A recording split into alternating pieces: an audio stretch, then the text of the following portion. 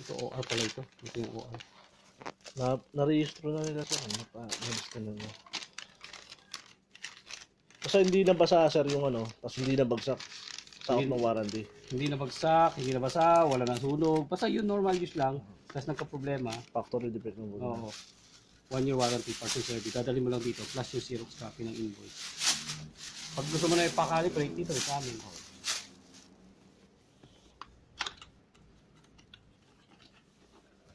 Ito, six, ang voltage measurement, 600 volts AC-DC. Kasi hindi ka naman nag-measure ng above 600. Okay.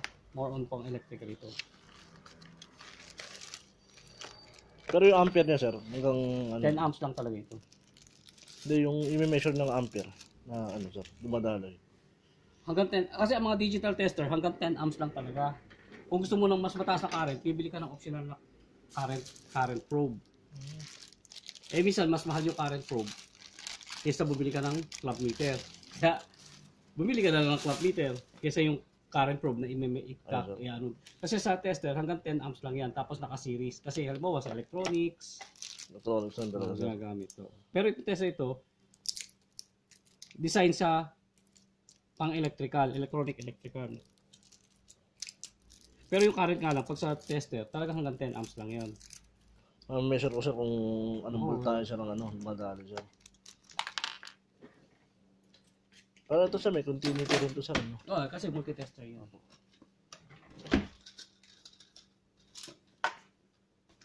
Napilit na malaki. Napilit na malaki dito. Ito malaki yung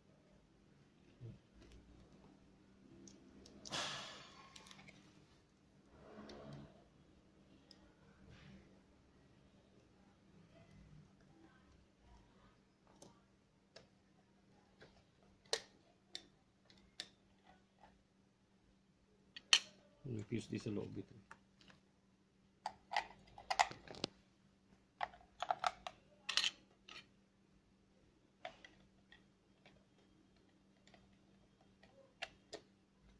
Sir, paano nasisira yun sir? Ano mga? Pag nasa ma- maling function, tapos nag-measure ka ng voltahe, nasa maling settings, Ano yung settings sir? nasisira. Diba sir, Minsan mag- pumutok lang yung fuse. Hopefully, dapat fuse lang pumutok. Wala masira iba. Kasi mag-measure ako ng voltage, measure voltage, eh naka-ampere pala. Ayun, nasisimo pumuputok yung fuse. Ito, para dito, palitan mo para mai-clip mo dito yung test leads. Dito yung dalawang test leads. Kung gusto mo palitan.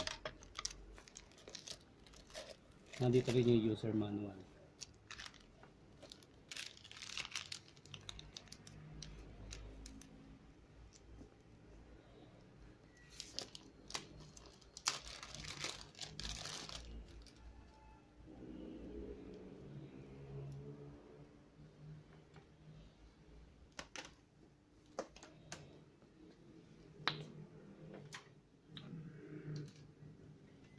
Dito, pag nag ito yung common lagi.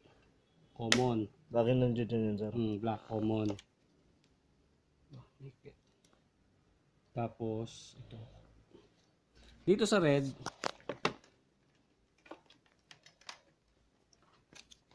may symbol siya na yung sensor, kasi may nabibiling optional na clamp probe Okay sir. para sa sensor, yung dag na sensor. Or may ano, may diode test, may continuity, may capacitance, may frequency, may ohmmeter, tsaka voltmeter. So dito lahat 'yon. Okay po. Dito current lang. Eh, kaya ang current. Hanggang 10 ampere lang sir. Hanggang 10 amp. Maximum 10 amp. So pag mag-measure ka ng volt AC, ayan, volt AC. Ayan, nakasimbol, volt AC. Yung out, auto hold, ayan, automatic hold function, tsaka backlight, present hold backlight. Ipupush ko lang sir pag ano, i-hold ko yun. Push within 1 second. Pag kasing momentary, hold ka. Pag 1 second, backlight yon Yan. So, halimbawa, may measure ka ng volt AC. Ito. So, naka-AC siya. Kunin ko siya. Abutin ko, abutin ko yun. Ah, tanggalin ko muna yun. Yun, pwede mo tanggalin. Ayun. Gagamitin ito pag mga dikit-dikit yung terminal para hindi ka mag-short. Pero pag sa mga outlet, hugutin mo. I volt AC, di ba? Yan AC. Tapos, ah, ayan, 200. True RMS ito ha, meter. 246 volts. Ngayon, gusto mo makita yung frequency ng line. Ito, may frequency siya, di ba? Yun, no? Frequency hertz. Blue, pindutin mo ito, select. Ayan, 60 hertz. 60 hertz, sir. Gusto mo makita yung percentage, yung duty cycle na waveform. Ayan, oh, 50% duty cycle waveform. Balik ka sa voltage, press muli. Voltage, yan. So, yung, yung, yung duty cycle, 50%, ibig sabihin, yung sine wave mo, May sine wave, sir.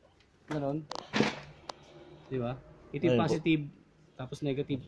Ano? So, ibig sabihin, 50% ito, tsaka 50% din ito. 50-50. Hindi yung parang ah 50, ah 60 ito, tapos 40 ito. Ay, pa... So, 50-50. Naglalaro-laro yung ano, sir, yung... Hindi, ang normal talaga, 50-50. 50-50. Positive, going positive, going negative, 50-50. Pag hindi normal, mga less than 50. Eh may mga special circuit, may mga special signal na hindi 50-50. Diba? Gusto mo na makita yung duty cycle. Okay. Ganun lang. So yun yung function nun. Dito. Sa Selection. sir. Iba, iba na yan. Ito naman, tapos mag-measure ka ng volt DC. O dito ka pa rin. Select mo dito. Volt DC na yan. O wala kang selection na iba. Walang blue. Walang ibang function. Di ba? Ba- Volt DC lang siya. Gusto mong i-hold, hold lang. Press ulit, um, uh, hold. Tapos, millivolt AC. Yan, millivolt AC. Or millivolt DC. So, in millivolt range siya. Kung nagme-measure ka ng one, below 1 volt, iset mo ng millivolts. Kung AC yun or DC yun, set mo para mas maganda yung accuracy. Okay. Ngayon, may sensor dyan. Kasi may nabibili na clamp sensor na AC-DC ang Kyoritsu na hanggang 1, 180 amps AC-DC. Pag AC, AC current, diyan may ano, millivolt, tapos yung clamp na yun, ika- ika-clamp mo. Okay, sir. So dito, yun, clamp, ni- clamp probe yun eh, na hanggang 180 amps. Kung AC ang measure mo, set mo sa millivolt, kasi yung output nun in millivolts. Nakabasa ka dito ng 10 millivolt, i-interpret mo siya as 10 milliamp. 10 minutes. Mhm. Tapos kung DC naman yung measure mo, DC current, at may sensor ka, ikakabit mo dito. Pero siyempre, millivolt, isi-select mo, sensor. Ayun, sensor lumalabas. Kaya in current, na ito ba, in current na lumalabas. Oh. So may, ka- may current probe ka. Kung millivolt, DC, binabas, binabasa mo, millivolt DC. Pero kung may sensor ka, select mo, sensor, current na i-measure mo. Tapos dito naman, ayan, ohmmeter. Ayan. Pwede ka na mag-measure ng resistance dyan. Ayun po. Yan. oh. Tapos, kung meron ka may measure na diode, mga transistor, select mo. Ah, hindi. Hold lang ito. Select. Ayun, diode test. Magme-measure ka ng diode, mga transistor. Continuity. Just capacitance. Yan. Capacitance naman. Okay. Mm. I-discharge mo muna yung capacitor, ha? Baka may, may charge yung capacitor. I-discharge mo muna. May si Rampus yun, sir. Hindi, may, may charge pa yan. ah. Ang resistance niya hanggang 40 mega ohms. Ang frequency niya 99.9 kHz. Kap capacitance niya alam ko mataas ang capacitance ito eh. Ang respect nito. Nasa ka. Ito yung sensor na sabi ko. Ayun, nabibili siya, no? Oo. Kaya 15,000 yan. AC-DC hanggang one- 180 amps. So dito ka lang magsiselect. Oh. Tapos may mga ano pala yan nababalik tayo sa eh, baba sa volt AC. May, rel- may relative pala yan eh. Function tapos Ayan, may relative tsaka may minimum maximum. Press and hold 1 second. Teka. Yung plus and minus, sir. Ayan. Maximum. Gusto mo makita yung maximum peak ng voltage o minimum. Sir. swing ng voltage, maximum, ganyan. Tapos gusto mong bumalik sa normal, press and hold. Yan, normal mo. Yung relative, kung meron kang reference, Bawa, meron kang nire-reference na voltahe. Bawa, meron kang dalawang machine o dalawang circuit na minimeasure mo. Gusto mo i-reference yung isa. Halimbawa, ito yung working voltage mo. Halimbawa, 220 volts, working voltage. Hindi na-measure mo na yung working voltage. Pe-press mo yung relative. Tapos, ngayon, i-test mo ngayon, i-press mo ngayon yung voltahe na mini-measure mo. Pare-pareho lang siya, pare-pareho sila. Gusto mo lang ma-compare kung tama ba itong isang tinetesting mo. So, kumuha ka ng reference, di ba? Kaya pinress mo yung relative. Tapos, measure mo uli ngayon ito. sasabihin niya sa iyo yung difference ng dalawa. Kung eksaktong pareho, zero yan. Pero pag hindi nag-zero, yun ang difference ng dalawa. Ay, sir, unahin mo to. Tapos pagka... unahin mo muna yung, unahin mo muna yung reference sample mo, yung sample mo, kaysa doon sa tinotroubleshoot mo. Kung lahat yan meron. Kung sa resistance naman, mo, continuity. Check natin kung Ayan, may point 1, may resistance, no? Relative. Ayan, ano natin relative. Kaya nag-test ko uli, 0, 0 siya. Zero, zero. Parang ginawa natin kanila. Siniro out natin. Sir. Di ba? Yun lang yun. So, yun yung function niya. Lahat ng ano yan, may mga ganun. So, yun. Ang sa, pag sa ano naman, sa current, magme-measure ka ng AC current. Yan. AC current. Ito, DC current. Hanggang 10 amps lang, sir. 10 amps. Ito, AC current. Pag nag-measure ka ng AC current, pag pinress mo, may frequency ka rin ng current. Ayun, frequency. At may duty cycle ka rin kung ilang percent yung current mo. Pag sa AC, di ba? Current, frequency ng current, duty cycle. Pero sa DC current, siyempre wala na. So, ang nangyayari, pag dito sa current na itong dalawa ito, ililipat mo na ito. Sa, ano na, no, sir? Sa ampere na. Ba't mahigpit? Lipat mo dito. Ngayon, pag naandyan ka na, huwag mo i-measure ng voltahe. Puputok ka. Yun ang precaution dito. Pag nagme-measure ka ng voltahe, AC, dapat nasa AC ka. DC, nasa DC ka. Huwag ka magme-measure ng voltahe na naandito ka. Ay, pag millivolts, okay lang. Kasi pag mataas, OL lang siya. Pero huwag ka magme-measure na naandito ka. Sa resistance, huwag nasa current, naandito. Huwag mo magme-measure, masisira. Puputok ang tester. Yung fuse. Dapat, yun lang ang precaution doon. Pag may measure ka ng voltahe, siguraduhin mo kung nasa tamang setting ka. Nasa nakata-plug Ano ba, ka. sir? Naka-ampere tapos naka-measure mo. Puputok yung fuse muna. Ah, Dito. Kapag AC current, yan, measure mo. DC current, yan. So, ang, ang testing naman dyan, di dito ka na, naka-series yan. Naka-series na.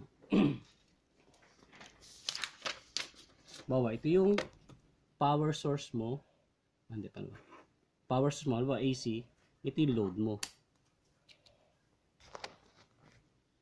Hindi kung AC, diba, wala namang positive na yan. Puputo yung, ikakat mo yung wire, tapos dito yung tester mo. Yung isang test lead, tapos isang test lead. Naka-series siya. Di ba? Naka-series siya. Serious ang pagkuha ng ampere, sir, no? Ngayon, kung, kung So, kung dalawang line ng, ano, short yun, sir, di ba? Kasi pu- dadaloy dito yung load. Nadadalo yung, ano, eh. Ngayon, kung ano yung kinukonsumo nito, magre-reflect dito. Kung kumuso, kung kumukonsumo yung 1 amp, ma- ma- ma-mention mo dito 1 amp. Kung DC naman, syempre may positive yan, negative. Negative. Ito yung load mo, di kakat mo yan. Ah, i-check mo na lang kung magkabaligtad ka ng, ano ba, ito yung positive, ito yung negative, ito yung load, ito yung source. Nagkabaligtad, hindi negative lang naman yan. Sir. So, ibabaligtarin mo lang yung test lead, no? May orientation yan eh. So, ganun din. Pero pag- na siyang current. Ito, sir, ito yung, ano, dito ako nag-measure, line 1, line 2, ng ampere. Ang puputok yung tester mo. Puputok yung tester. Kasi voltage measurement mo yung mini-measure mo eh. Voltage yun eh. Hindi current. Kaya, Pag nasa current ka, mineasure mo ng ganito, dinirekta mo sa line, ibig sabihin, nagme-measure ka ng voltahe, puputok yung fuse nito. Kaya dapat pag current, ito naka-series ka. nakaserious Kahit aling line dyan, basta naka-series ka sa isang line. Kasi mini-measure mo yung load nito eh. So yung kinukonsumo nito, dadalo yan dito. Magre-reflect dito kung ano yung kinukonsumo nito. Okay, Ganun lang, hanggang 10 amps. Sige po. So yun ang function. Kasi ang mga digital tester, ganyan, hanggang 10 amps lang talaga. Kaya nga merong clamp, kung gusto mong ika-clamp mo. Para mas mataas, mga. Yan, no? Ito ba, sir, may clamp yan nakasama? Wala. Wala, optional. Pero kung may stock na isa, pero nasa 15,000. Yan, no? May hanggang 100 hanggang din. 130, ah, AC 130, DC 180. Meron pang ibang mas mataas oh, hanggang 100. Ah, ito, 100 lang pala ito. Yan lang. Hindi practical na bumili ka nito. 15,000 to, samantalang makakabili ka ng Curity na clock meter na 4,000 plus lang. Ayun. Na hanggang 1,000 amps. AC nga lang siya. Mas Pero, mahal kasi yung AC Yung DC current. meter, sir. Mm. Pag AC lang, 4 plus lang mabibili mo. 4 plus. Pero pag AC-DC, mas mahal talaga AC-DC. May DC ba na 4,000, sir, na i-measure? Pag sa mga Meron- battery lang. Meron kami mga tester na hanggang 1,000 amps DC. 1,000 Ang Curity nga may 2,000 amps Anong AC-DC. application, sir, sa ano? Sa Sa mga UPS? battery, mga UPS? matataas na matataas na. Battery. Mga matataas. So yung